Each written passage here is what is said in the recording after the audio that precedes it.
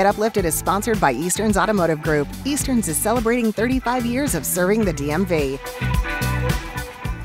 Well, we're here live at TAP Sports Bar at MGM National Harbor, helping all of us really kick off March Madness. Round one of the men's tournament starts in just about six hours. But this morning, I want to get uplifted by the women who are playing. Yes, there are women playing too. The women's tournament, specifically the Maryland Terrapins. The Maryland women's basketball team finished their regular season winning 21 of their last 25 games.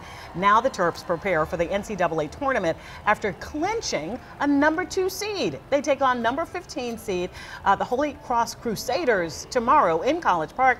And as you can imagine, the excitement is growing. Got to get down to business, take care of business, got to get ready for a great team on Friday. It's good to be a, a, two seed and we're just ready to get started. We're so excited for where we are. We can't wait to host the first two games and we can't wait to see you guys there. Go Terps.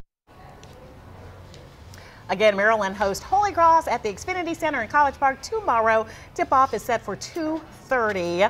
I think we can all join when we say, let's go Terps. Yes, let's go Terps. So oh. exciting. And I love that we're talking about the women too. It starts, too. you know, tomorrow.